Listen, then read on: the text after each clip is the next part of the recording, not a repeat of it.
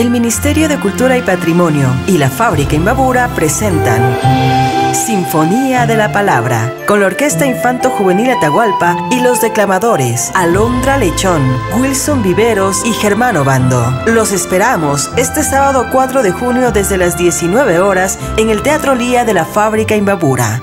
Entrada libre.